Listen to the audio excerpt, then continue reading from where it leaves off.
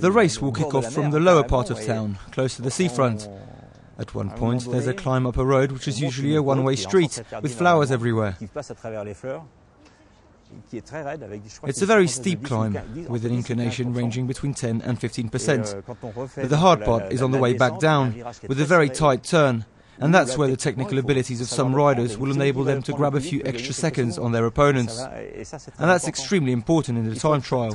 You have to be powerful, technically gifted, and have the stamina to sustain the same effort for 15 kilometers. It will be very tough for them.